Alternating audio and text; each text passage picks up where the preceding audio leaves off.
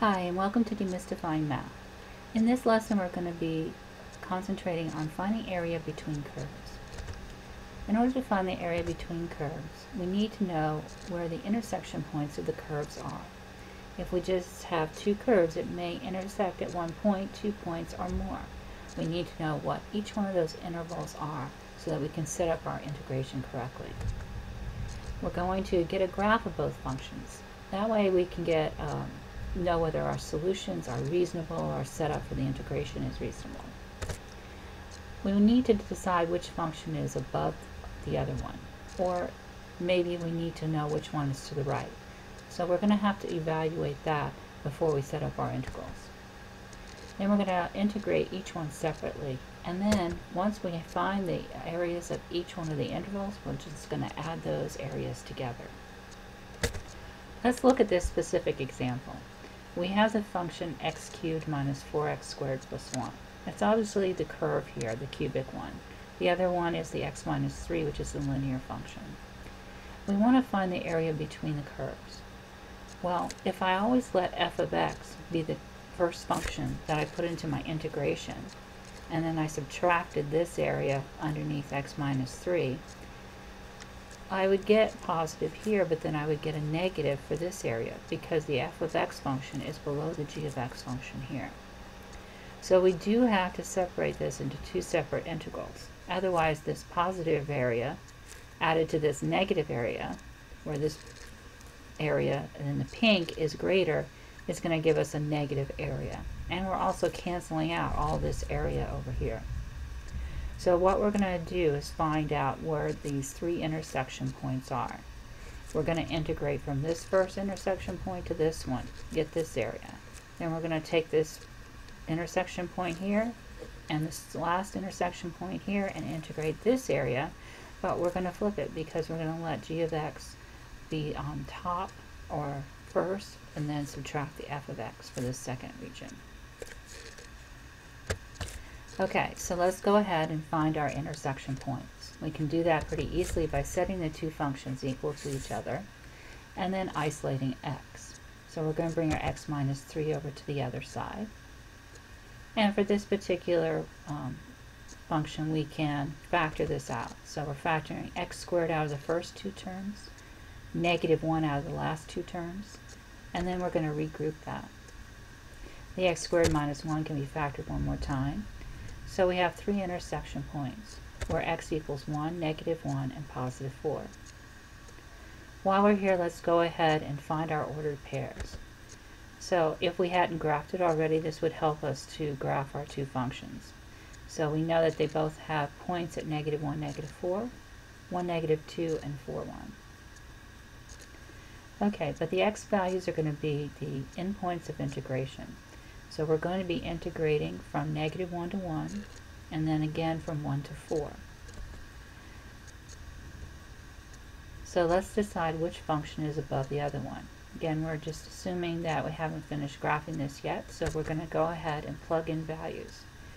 So if we plug in a number in between negative 1 and 1, we see that by plugging in 0, f of 0 is 1 and g of 0 is negative 3, so the f function is higher than the g function. Then I get, I again plugged in another number, this one between the 1 and 4 for the second interval. I plugged in a 2, so the f function is negative 7 at 2 and the g function is negative 1 at 2. So in this case the g function is above the f function. So on the interval from negative 1 to 1, f of x is greater, and on the interval from 1 to 4, g of x is greater. So that's going to help us to set up our integrals. For the first interval, we're going to do the f of x minus the g of x function, the greater minus the less. And then we're going to integrate from negative 1 to 1. And for the second interval, we're going to do the g of x function minus the f of x function and go from 1 to 4. Okay, so now we need to integrate. So we have in the interval from negative 1 to 1 and our f of x function minus our g of x function. Then we're just going to simplify that and do our integration. So we have x to the fourth over 4 minus 4x to the third over 3 minus x squared over 2 plus 4x. and we're going to plug in our endpoints of integration of 1 and negative 1 and then simplify our fractions so we get 16 thirds. Now let's do our second interval. We're going to do our g of x function first minus our f of x function and then simplify that. So you should notice here that we got exactly the same thing but opposite signs. That's what's going to keep us from getting a negative on this interval.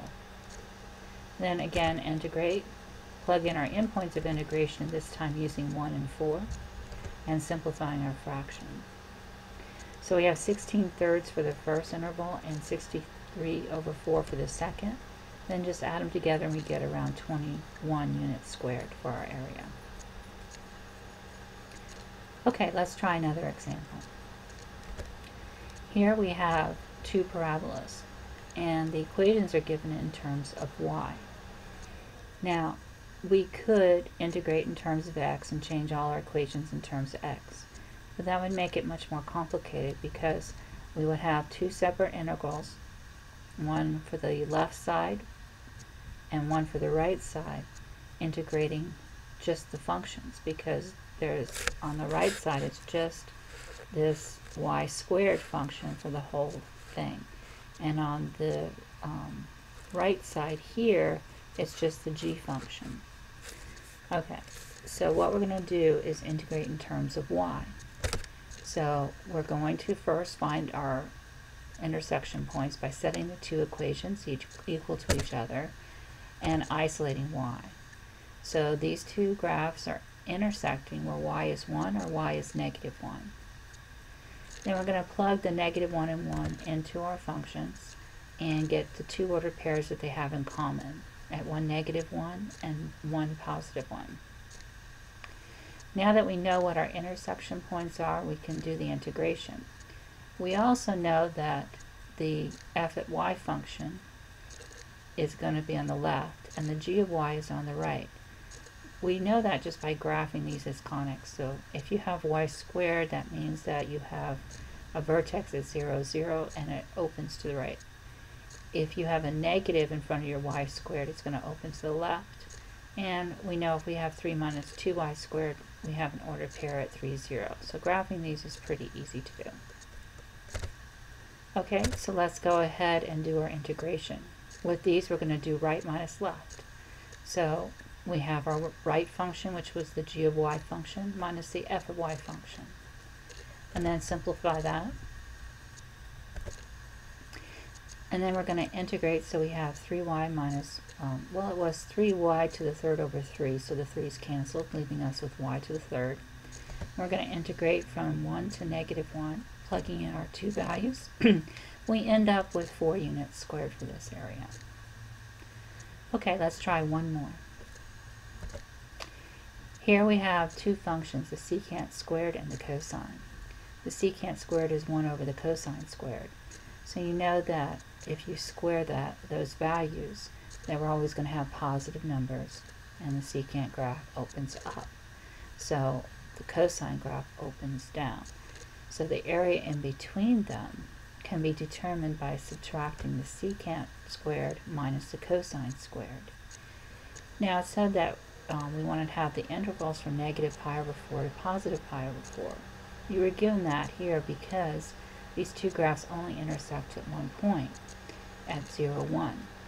So we had to have endpoints of integration given to find some area there. Notice also that I just multiplied um, 2 times the integral from 0 to pi over 4. Because the, both these graphs are symmetric with the y-axis, we can break it up that, um, that way, and it's a little bit easier to evaluate the integral. But you didn't need to do that. You could have integrated from negative pi over 4 to positive pi over 4 because both these areas above are above the x-axis. Okay, let's find the integral of the secant squared, that's the tangent, and the integral of the cosine is the sine. Then we're just going to plug in our two endpoints of integration and evaluate. So we get um, 2 times 1, or 2, and 2 times negative square root of 2 over 2 is negative square root of 2. So our, our value is 2 minus the square root of 2 exactly, or around 0.586 units squared for our area. Okay, thank you for tuning in to Demystifying Math. I hope this helped you a little bit with area between curves.